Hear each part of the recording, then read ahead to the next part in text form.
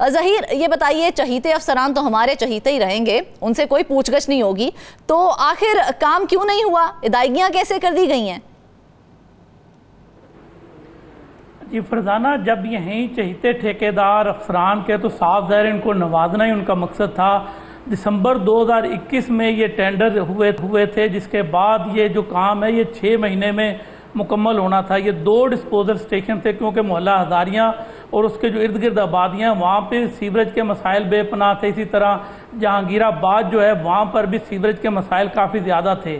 तो अच्छा। तो वहाँ के जो मुंतब नुमाइंदे थे उन्होंने फैसला यही किया कि जो उन्हें फंड मिलते हैं हुकूमत की तरफ़ से हम्म। जो उनकी हुकूमतें हैं उनसे उन्हें फंड मिले तो उन्होंने वासा अफरान को वो वहाँ फंड फ्राहम किए और उन्होंने कहा कि हमें इस एरिए में जो है ये काम चाहिए। तो दो डिस्पोजल स्टेशन जो है वो तामीर होने थे। एक जहांगीराबाद में होना था दूसरा मोहल्ला हजारिया में होना था। जिससे कि सीवरेज के मसाइल पर काबू काफ़ी हद तक पाया जा सकता था। मगर अफसरान ने किया क्या कि जब टेंडर अलाट किए गए तो उस अमल में भी मुबैना तौर पर बेजाबतियाँ की गई। जो चहीते ठेकेदार थे, उनको नवाजने के लिए टेंडर अलाटमेंट में बेजाबतियाँ की उसके बाद अगले मरले में जो काम उन्होंने मुकम्मल ही नहीं किया उसकी अदायगियाँ भी उन्हें तमाम तर कर दी गई। ये जो जहांगीराबाद डिस्पोजल स्टेशन था इस पर ढाई करोड़ रुपए की लागत आनी थी लेकिन यहाँ पर काम अभी दस फ़ीसद भी मुकम्मल नहीं हुआ। और जो कवानीन कहते हैं कवानीन के मुताबिक जो कॉन्ट्रैक्ट एग्रीमेंट होता है उसके तहत जो भी ठेकेदार होता है हम्म। उसने सौ फ़ीसद काम करना होता है और उसकी उसके बाद फ़िज़िकल इंस्पेक्शन की जाती है। जो कमेटी होती है, जो टीम होती है उस मुतल महकमे की, वो जाकर उस चीज़ का मैार देखती है कि जो काम हुआ है, वो मैारी अंदाज में हुआ है या नहीं हुआ है। अगर मैारी अंदाज में हुआ है तो तमाम तर अदायगियाँ जो है वो ठेकेदार को कर दी जाती हैं। मगर इस मामले में तमाम तर काम जो है वो उल्टा हुआ है, क्योंकि ये जो ठेकेदार थे, बताया यही जाता है कि वासा के कुछ अफसरान के ये फ्रंट मैन थे। जो वासा अफसरान के साथ मिलकर ये सारा काम करते थे टेंडर जो है वो अपने नाम अलाट करवाते थे उसके बाद तमाम तर अदायगियाँ भी करवा लेते थे काम अभी मुकम्मल नहीं होता था।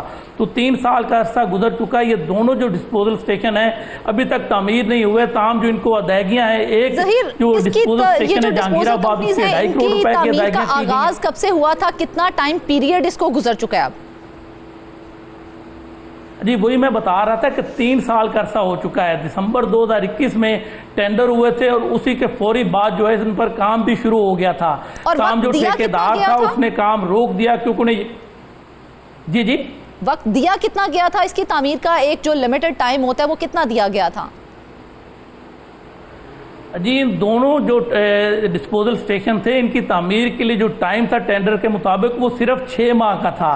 कि छः माह में ये जो दोनों डिस्पोजल स्टेशन है इनकी तामीर मुकम्मल होना थी। मगर तीन साल का अरसा होने वाला है। अभी तक ये दोनों डिस्पोजल स्टेशन मुकम्मल तौर पर तामीर नहीं हुए। सिर्फ़ दस फ़ीसद के करीब ही काम जो है वो नज़र आ रहा है। दूसरी जानब शहरी एक है सजाद।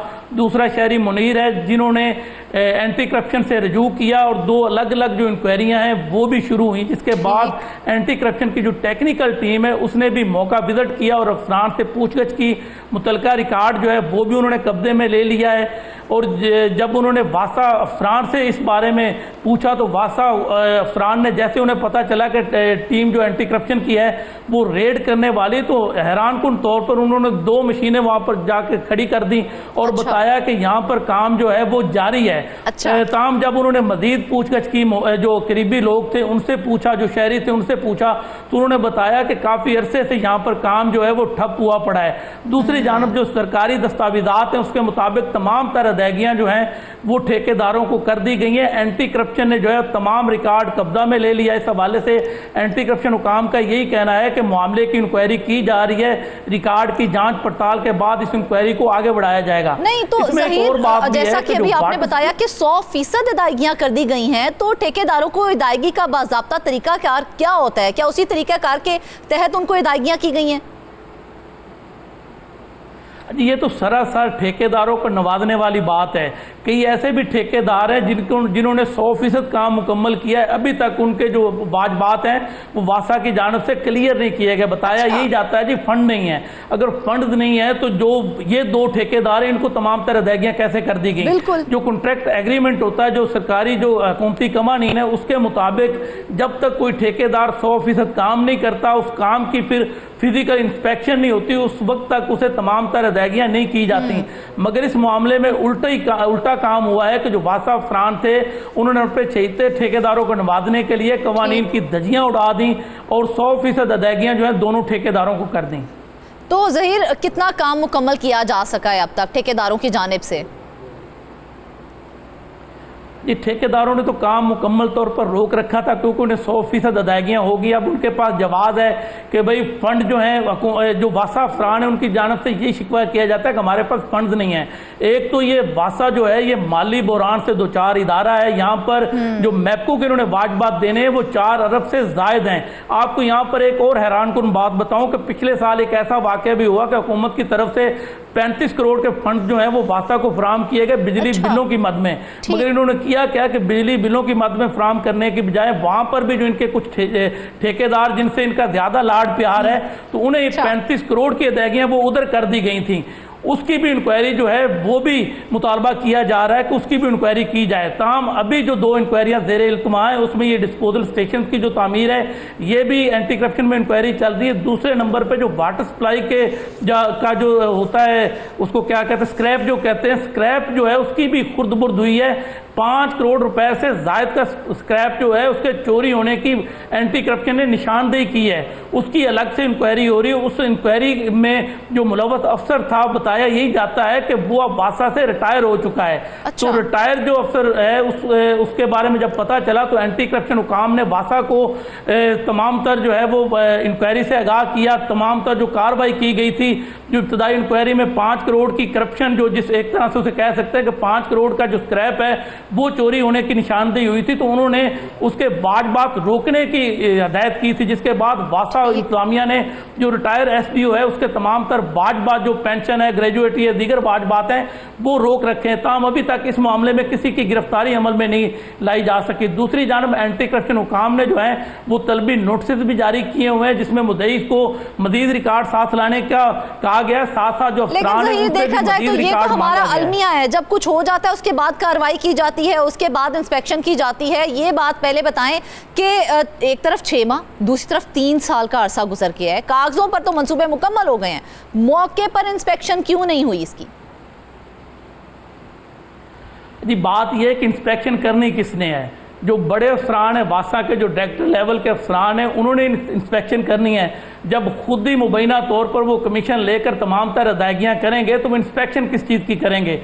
ये मामला तो मंजर यहाँ पर इसलिए आ गया कि एक शहरी ने पहले जहांगीराबाद डिस्पोजल स्टेशन के हवाले से इंक्वायरी के लिए दरख्वास्त दी एंटी करप्शन को तो उस पर इंक्वायरी शुरू हुई दूसरी जानब एक और शहरी ने मौला हजारिया जो डिस्पोजल स्टेशन है उसकी हम्म। जो खुर्दबुर्द हुई थी जो तमाम बात बात अदा कर दिए गए थे काम के बगैर उसकी इंक्वायरी हाँ। की अपील की थी जिसके बाद एंटी करप्शन मुतहरक हुआ और तमाम तर जो ये बेजाबगियाँ हैं ये सामने आई अगर ये एंटी करप्शन में दोनों शहरी ना जाते तो ये मामला तो सामने आना ही नहीं था क्योंकि आवाम को तो नहीं पता कि भाई डिस्पोजल स्टेशन जो है उसकी तमीर किस हद तक होनी है वो क्या तरीका कार है उस पर कौन सी मशीनरी जो है वो इस्तेमाल होती है इन चीज़ों से आम शहरी जो है वो वाकिफ नहीं है। अगर वो दो शहरी एंटी करप्शन में ना जाते तो ये मामला भी सामने ना आता। ठीक है तो है। छानबीन के बाद क्या कार्रवाई मतवके है? अब एंटी करप्शन क्या कार्रवाई करेगी फर्दर ऑन जी वही आपको बता रहा हूँ कि एंटी करप्शन ने जब रेड किया है तो टेक्निकल टीम उनके हमरा थी उन्होंने मौका पर जाकर देखा कि दोनों जो डिस्पोजल स्टेशन है उनकी 10 फ़ीसद भी तामीर मुकम्मल नहीं हुई। दूसरी जानब जो वाटर सप्लाई का जो स्क्रैप है स्क्रैप की जो चोरी के मामला थे गायब होने के मामला थे उसमें भी पाँच करोड़ रुपए का जो स्क्रैप चोरी हुआ है वाटर सप्लाई का अच्छा। उसकी भी निशानदेही हो चुकी है। अब एंटी करप्शन हुकाम का यही कहना है कि इसकी मजीद जो है वो पेशरफ यही होगी कि तलब किया जाएगा मजीद रिकॉर्ड जो है उसको वेरीफाई किया जाएगा फिर बेदाबियाँ जो हुई हैं उसकी जो है वो जायजा लिया जाएगा उसके बाद गिरफ्तारियाँ भी अमल में लाई जा सकती हैं। वो तो सब हो जाएगा रिकवरी किस हद तक मुमकिन है? रिकवरी किस हद तक मुमकिन है?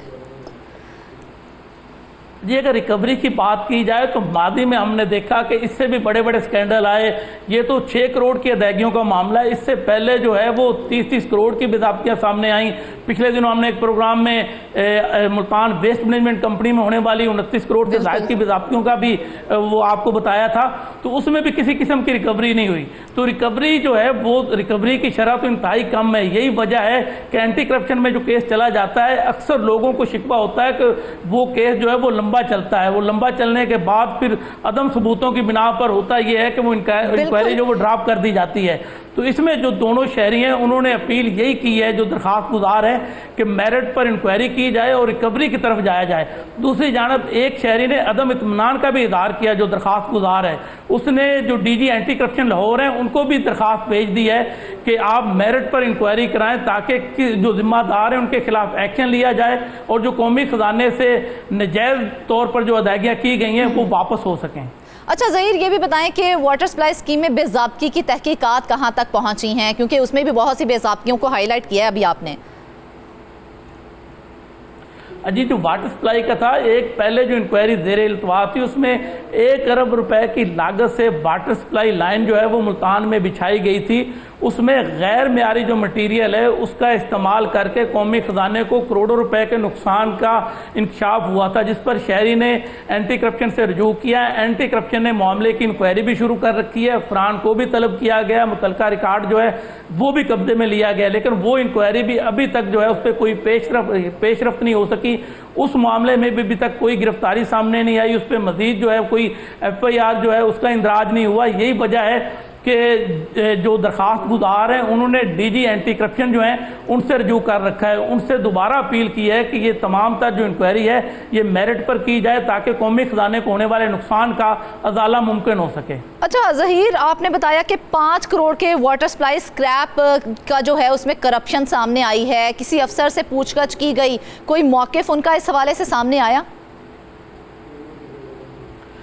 इस हवाले से जब हमने वासा काम से बात की तो उनका कहना यही था कि मामला एंटी करप्शन में चल रहा है। जो भी पेशरफ होगी पता चल जाएगा। दूध का दूध पानी का पानी हो जाएगा। वो तो, तो कभी तमाम नज़रें जो है वो फ़िलहाल एंटी करप्शन की इंक्वायरी की जाँच तो रवायती जुमला उनकी तरफ़ से साफ़ ज़ाहिर है, जिन्होंने खुद करप्शन की है मुबैना तौर पर, जिन्होंने खुद कमीशन जो है वो करोड़ों रुपए का खाया है, जिन्होंने खुद गैर कानूनी अदायगियाँ की हैं तो वो क्या जवाब देंगे?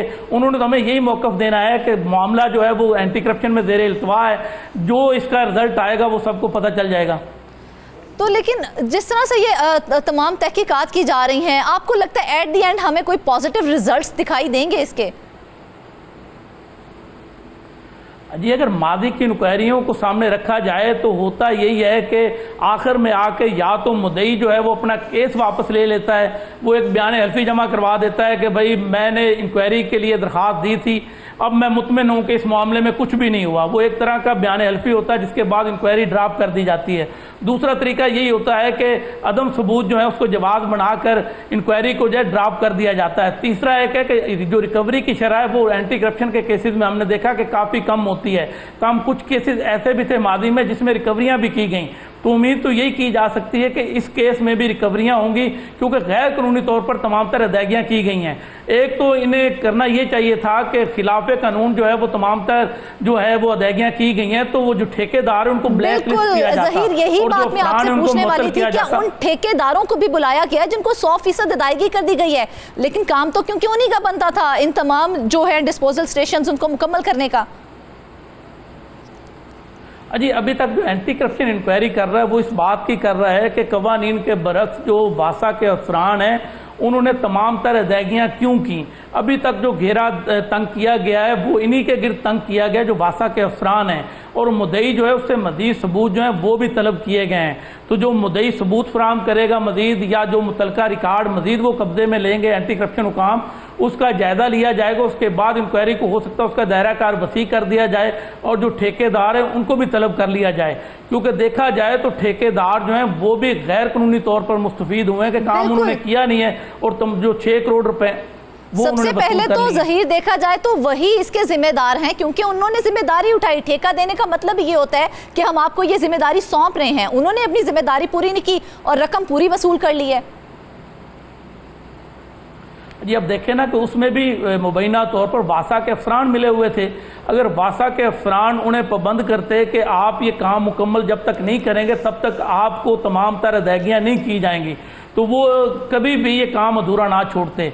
लेकिन यहाँ पे क्या हुआ कि उन्हें यकीन दहानी करवा दी गई कि आप बस काम शुरू करें, आपको तमाम तर अदायगियाँ जो है वो एडवांस में कर दी जाएँगी। और वैसा ही हुआ कि काम उन्होंने तीन साल बाद भी मुकम्मल नहीं किया, लेकिन उन्हें तमाम तर अदायगियाँ जो हैं वो कर दी गई हैं।